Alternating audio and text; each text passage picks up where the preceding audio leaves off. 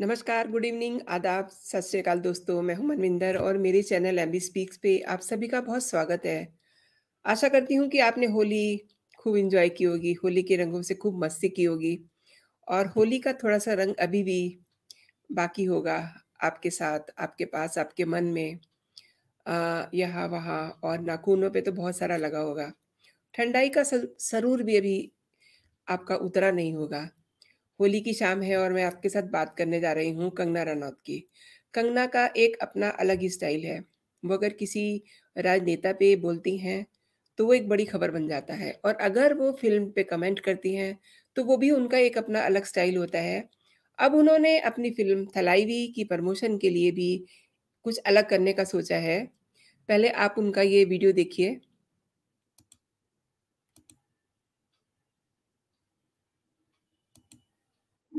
Holi everyone बहुत-बहुत शुभकामनाएँ होली की और मैं कुछ बहुत एक्साइटिंग शेयर करना चाहती हूँ। थलाइवी के ट्रेलर के लिए बहुत-बहुत धन्यवाद और हम सब जानते हैं कि जया ने अपनी सारी ज़िंदगी लोगों के लिए जी है। पहले उन्होंने एक सुपरस्टार बन के उनके दिल में एक जगह पाई और फिर उसके बाद उनको एक रेवोल्यूशनरी लीडर का लोगों ने मुकाम दिया और उनकी इसी क्वालिटी को, क्योंकि वो लोगों के लिए जीती थी, नज़र में रखते हुए हमारी जो टीम है, उन्होंने बहुत एक्साइटिंग कैंपेन लॉन्च किया है, जिसके सारे प्रमोशन के डिसीजंस लेंगे आप तो दोस्तों, आप प्लीज़ इस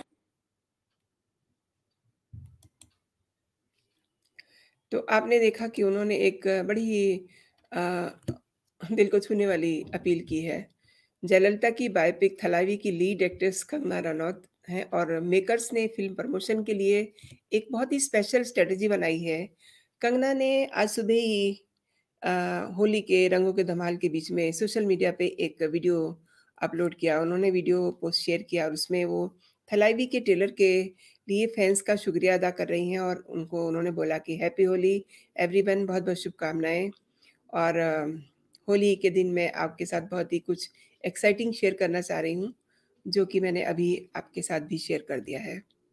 कंगना ने आगे कहा कि हम सभी जानते हैं कि जय माँ ने अपनी सारी ज़िंदगी लोगों के लिए जी है। उन्होंने पहले सुपरस्टार बन के उनके दिलों में जगह बनाई और बाद में लोगों ने एक रेवोल्यूशनरी लीडर का उनको एक पूरा मुकाम दिया और उनकी इसी क्वालिटी को क्योंकि वो लोगों के लिए जीती थी, नज़र में रखते हुए हमारी जो टीम है उन्होंने बहुत ही एक्साइटिंग कैंपेन लॉन्च किया है जिसके सारे प्रमोशन के डिसीज़न लेंगे आप। आप यानी कि उनके सारे फैन्स। तो दोस्तों प्लीज़ आप इस कैंपेन में हिस्सा लें, वोट फॉर थलाइवी और फ़िल्म का प्रमोशन तय करें। Thank you. ये बात कह के उन्होंने अपनी बात खत्म कर दी एंड उन्होंने अंडरलाइन किया vote for Thalaivi. Hashtag hashtag vote for Thalaivi.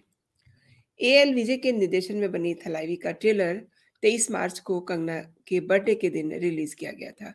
Launch event के दौरान डायरेक्टर के बारे में बात करते हुए कंगना रनौत काफ़ी इमोशनल हो गई थी।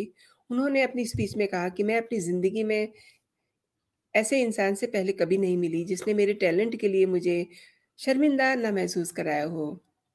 यहाँ रुक के मैं आपको बताना चाहूँगी दोस्तों कि वाक़ई में ही कंगना बहुत इमोशनल है और उसने बहुत सारा स्ट्रगल किया है फ़िल्म इंडस्ट्री में। आप जानते ही हैं कि किस-किस तरीके से फ़िल्मों में काम मिलता है और उन्होंने किस और अपने इस स्टेटमेंट में इशारा किया है। तो वो आगे कहती है कि मैं बहुत इमोशनल हो रही हैं, आम तौर पे ऐसा होता नहीं है। मैं कहना चाहती हूँ कि वो ऐसे इंसान हैं जिन्होंने मेरे टैलेंट को अच्छा महसूस कराया, टैलेंट को लेकर के मुझे अच्छा महसूस कराया। आमतौर पे फ़िल्म मेकर्स ऐसा सौहार्द मेल एक्टर्स के साथ दिखाते हैं, किसी एक्ट्रेस के साथ ऐसा देखने को नहीं मिलता। एक डायरेक्टर के तौर पे मैंने उनसे ये सीखा कि किसी एक्टर के साथ कैसे ट्रीट करना है और कैसे क्रिएटिव पार्टनरशिप दिखानी है। थलाइवी के 3 इवेंट्स थलाइवी के 3 नेट और 22 सेकंड के पूरे ट्रेलर में महिला सशक्तिकरण की बहुत बड़ी झलक दिखती है। कंगना पर फिल्माया गया हर डायलॉग महिलाओं की ताकत को दिखाता है। मसलन, अभी तो सिर्फ़ पंख फैलाए हैं, उड़ान भरना अभी बाकी है। महाभारत का दूसरा नाम है जया। तो इस तरीके के डायलॉग्स जो हैं वो वुमेन एम्पावरमेंट को दिखाते हैं इस फ़िल्म में।